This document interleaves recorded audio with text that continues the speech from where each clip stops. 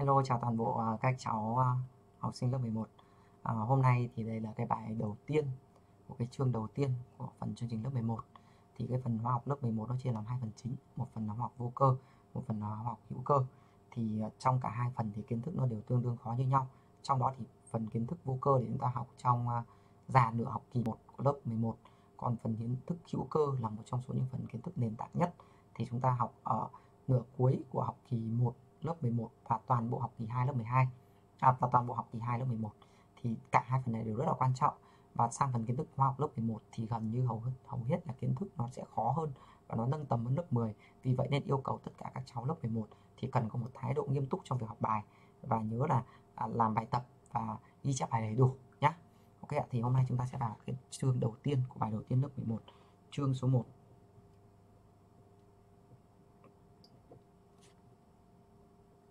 chương điện lý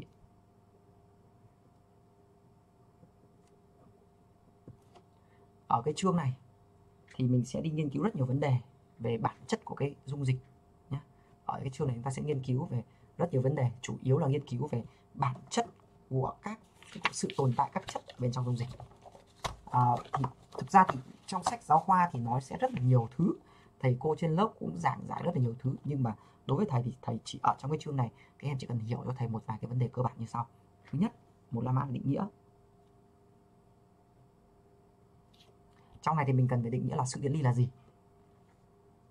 Thì sự điện ly là sự phân ly, ra thành ion nhé của các chất trong dung dịch hoặc trong trạng thái nóng chảy.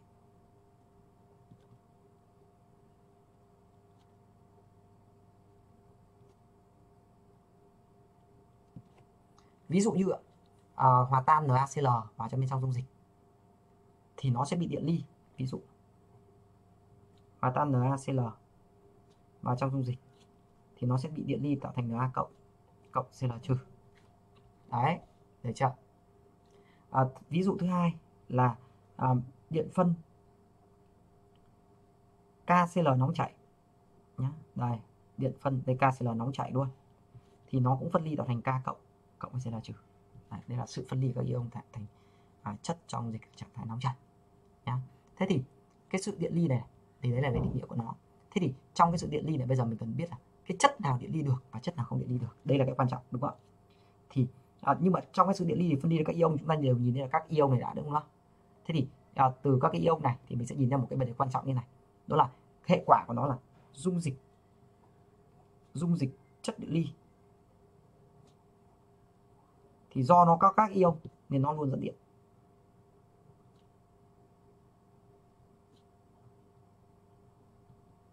Dung dịch chất điện ly thì do nó chứa các ion nên nó luôn dẫn điện nhá hai la mã. Hoặc về chất điện ly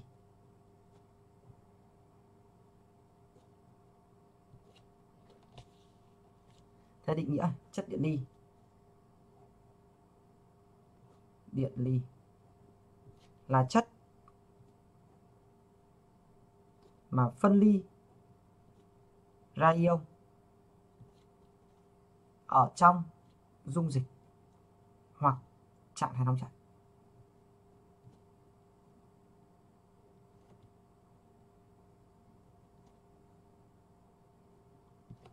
Được chưa? Thế thì cái chất điện ly này thì định nghĩa nó bình thường nữa. Thường là các chất điện ly thì ở trạng thái dung dịch hay trạng thái nóng chảy đều dẫn được điện. Cái thế là chúng ta nghĩ đơn giản nhất. Nhưng mà bây giờ cái vấn đề chúng ta là mình phải phân biệt là đâu là chất điện ly, đâu là chất không điện ly. Nhá. Thì mình có chất điện ly thì nó bao gồm tất cả các axit này bazơ này, muối và nước nhé đấy, nó bao gồm tất cả các axit, các bazơ muối và nước. Nhớ chưa ạ? Đấy, thì vì vậy chúng ta muốn biết được được chất điện đi là bao gồm những gì mình phải nắm được, các axit, các bazơ các muối và nước. Nước thì ai cũng biết, đúng không ạ? Axit thì nhìn phát biết rồi, đúng không? Bazơ thì nhìn biết. Cái này đơn giản là cái việc mà chúng ta thấy cái việc mà bài đầu tiên của chương trình lớp 11 nó khó, bởi vì chúng ta chưa có dung để chúng ta biết được nắm được anh nào axit, anh nào bazơ anh nào muối, anh nào nước. Thì muốn làm được biết được cái này thì mình chỉ có làm nhiều bài tập thôi, nhá. Chỉ có làm nhiều bài tập thôi. Tí chúng ta sẽ có luyện bài tập. Thứ hai là phân loại chất điện ly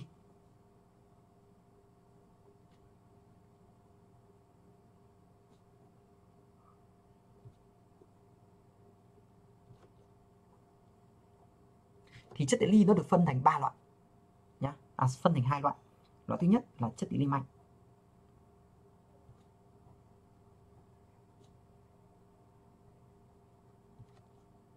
Định nghĩa chất điện ly mạnh là phần tan trong nước. Phần tan trong nước. Phân ly hoàn toàn ra ion phần tan trong nước, phân ly hoàn toàn là ion nhớ nha, định nghĩa chất điện ly mạnh là phần tan trong nước, phân ly hoàn toàn là ion thế thì quan trọng của chúng ta này là biết được anh nào là chất điện ly mạnh. Thì các chất điện ly mạnh bao gồm các chất điện ly mạnh là bao gồm, thứ nhất là các axit mạnh axit mạnh thì chúng ta nắm được quá rõ rồi, đúng không ạ? Các axit mạnh chúng ta thường gặp là những axit nào? Đây ví dụ như H2SO4 đúng không ạ? HCl đúng không ạ? HNO3 đúng không ạ? HClO4 đúng không ạ? Vân vân. Thì là các axit mạnh các bazơ mạnh 2 là các bazơ mạnh thầy gợi ý một tí các bazơ mạnh nó là các hydroxit không hydroxit tan chúng ta mở bài tính tan là biết nhá mở bài tính tan ở cuối cuốn sách giáo khoa lớp 11 được chưa? À, còn bạn nào mà muốn nhớ hơn nữa thì các hydroxit tan thì thầy chỉ cho một mẹo đó là các hydroxit mà có ca kim loại đứng trước mà gì khi nào ba cần mua. Đấy ca kim loại nhá. Đứng trước mà gì là các hydroxit khi nào? Ba. Cần. Đúng không ạ? Dĩ nhiên không có li ti đây nhưng mà chúng ta vẫn gọi xếp li ti vào được đấy là các ba giờ mạnh và cuối cùng là các muối các muối. Chúng ta lưu ý là các muối này thì nó phải trừ muối của thủy ngân. Trừ muối của thủy ngân. Tất cả các muối nhé tất cả các muối kể cả muối kết tủa trừ muối thủy ngân. Ta lấy ví dụ ví dụ như anh à, ví dụ về phương trình điện ly nhá. Chúng ta viết một số phương trình điện ly. Phương trình điện ly. Ví dụ như HCl này thì điện ly hoàn toàn. Mũi tên một chiều. H cộng cộng Cl trừ. Đấy, mũi tên một chiều. Cả nhà nhớ chưa? Đấy. Điện ly mạnh là mũi tên một chiều. Thứ hai, ví dụ như h2s số 4 thì điện ly mạnh tạo thành 2H cộng cộng s số 4 2 chữ ví dụ như HNO3 thì điện ly mạnh tạo thành H cộng cộng NO3 trừ. Ví dụ như cao H thì điện đi mạnh tạo thành K cộng cộng OH trừ ví dụ như BaOH hai lần thì điện đi mạnh tạo thành Ba2 cộng cộng 2OH trừ. Ví dụ như ví dụ như Al Cl3 là muối, điện đi mạnh tạo thành nhôm 3 cộng cộng 3 Cl trừ. Thế thì cái việc học về chất điện lý mạnh này về mặt bản chất giúp chúng ta hiểu được gì? À, giúp chúng ta hiểu này. À, trong dung dịch mà HCl hòa tan vào thì nó sẽ không tồn tại dưới dạng phân tử HCl nó tồn tại dạng ion H cộng và Cl trừ được không ạ trong dịch H2O4 thì không có phân tử H2O4 mà có ion H cộng và ion H4 này trừ trong dịch HNO3 thì không phải là có HNO3 mà tồn tại H cộng và NO3 trừ tương tự như vậy trong dịch AlCl3 thì chỉ tồn tại ion nhôm 3 cộng và 3Cl trừ chứ không tồn tại AlCl3 các em hiểu chưa? Đó, bản chất là như thế. Mình hiểu như vậy cho dễ. Nhá. Sang hai nhỏ chất bị yếu. Hai nhỏ chất địa lý yếu.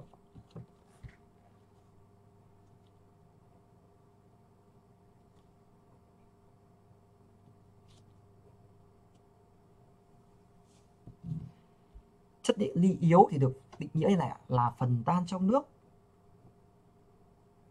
Phần tan trong nước. Phân ly một phần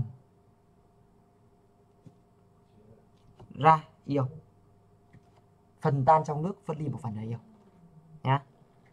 Định nghĩa chất định yếu. Vậy là có nghĩa mũi tên của nó là mũi tên hai chiều. Điều chúng ta quan trọng nhất đấy là các chất điện yếu bao gồm các chất điện ly yếu thì nó bao gồm nha. Thứ nhất là các axit yếu. Các axit yếu, các axit yếu này thì chúng ta sắp xếp theo chiều, chúng ta gặp nhiều đến ít gặp nhé đầu tiên sẽ là H2CO3 thứ hai là SO3 thứ ba là H2S thứ tư là CH3COOH thứ năm là HClO đúng không? Vân vân vân vân vân. Đây là những anh mà chúng ta hay gặp nhiều nhất và chúng ta sẽ bị hỏi nhiều nhất. À, thêm được nữa là một anh trong chương trình lớp 11 là H3PO4 H2 SiO3 đây là những cái mà chúng ta sẽ gặp ở trong chương trình lớp 11 sắp xếp từ gặp nhiều nhất cho đến ít gặp nhất. Đấy, đây thì ghi hết rồi nào chúng ta chỉ cần mở vào của thầy ra chúng ta kiểm tra là biết ngay. Nhá là biết ngay. Cứ nhớ thầy là chất địa lý yếu đã là axit yếu. Hai nhỏ. Là các hydroxit kết tủa. Là các hydroxit kết tủa. Các hydroxit kết tủa là các hydroxit mà có ca chiêu kim loại. Đứng đằng sau magie đúng không? Và lấy cả magie trở đi. Các hydroxit kết tủa vậy ở đây mình sẽ có là khi nào ba cần mua? Đúng không? MgOH hai lần này. Mua này. Áo này. ALOH ba lần này. Giáp này. ZNOH hai lần này. Sắt này. FeOH ba lần này. Vân vân. Đúng không? Rất nhiều. Thì nó đều là các hydroxit kết tủa thì nó đều là chất địa lý yếu nhá. Thứ ba là nước nước thì chắc chắn là chất đi lý yếu rồi. Thứ tư thứ tư ạ. Thứ tư ạ. Thứ tư là muối của thủy ngân. Muối của thủy ngân. Muối của thủy ngân. Nha, có nghĩa là muối của thủy ngân nó là HG2 cộng đấy ạ. Vậy thì ví dụ ở đây chúng ta sẽ có một vài cái phương trình của của axit yếu nhá. Chúng ta sẽ có một vài cái phương trình của anh axit yếu ví dụ như là phương trình điện ly này, phương trình điện ly của axit yếu. Mình sẽ có như thế này ạ. Anh dễ nhất đi. Anh dễ nhất đi của chúng ta đây là anh gì ạ? Anh dễ nhất của chúng ta là anh H2S đúng không?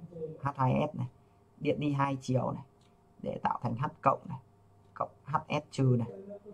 Anh bố của nó là anh H2S đã yếu rồi, thì anh HS còn yếu nữa, đúng không ạ? Thì HS lại điện đi tiếp nhé HS trừ lại điện đi tiếp để tạo thành H cộng cộng với S2 trừ được chưa? Vậy thì từ cái này thì mình sẽ suy ra là trong cái dung dịch H2S ấy, trong dung dịch H2S thì nó tồn tại thì nó tồn tại bao gồm nó tồn tại bao gồm nhá. Ion S2 trừ này ion H cộng này ion HS trừ này bởi vì HS trừ nó không bị phân đi hết, nó chỉ phân đi một một phần thôi. Đúng không? Và cả H2S nhá. Đấy, trong dịch này tồn tại tất cả các ion này. Chúng ta cần phải lưu ý, nhá.